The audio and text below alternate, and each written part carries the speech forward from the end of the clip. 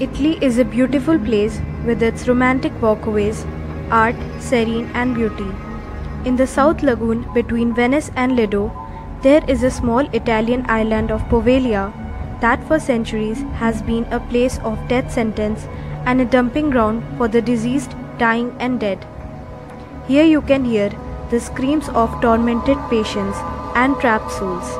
The soil here is toxic being a mixture of human remains and human ash. A handful of psychics who have been on the island claim that they felt the presence of angry spirits lingering. Fishermen have also claimed that charred human bones still wash up on Poveglia's shore and have heard spirits of mental patients scream at night. All because this island has a terrifying, painful history. In 1348, plague arrived in Venice. Poveglia, being a small island, became a quarantine colony. The plague killed one out of three Europeans.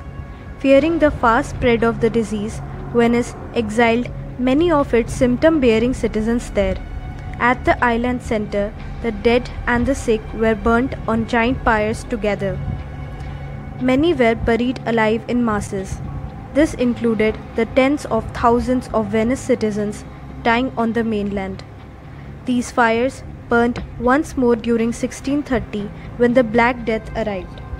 In the late 1800s, an asylum was made for the area's mentally ill in Poveglia. The asylum was poorly constructed and rather treating the ill, doctors performed strange experiments on the patients here. A doctor who performed illegal experiments such as lobotomy and abused patients eventually went mad and threw himself from asylum's tall bell tower. Nurses claim that the doctor did not die from that fall, but was tracked by the spirits in the deep mists who killed him. Though the bell in the tower was removed decades ago, locals still claim to hear its chimes echo from the lonely island. Today, the entire island is abandoned. Locals and tourists are prohibited from visiting, and fishermen steer clear of this cursed place.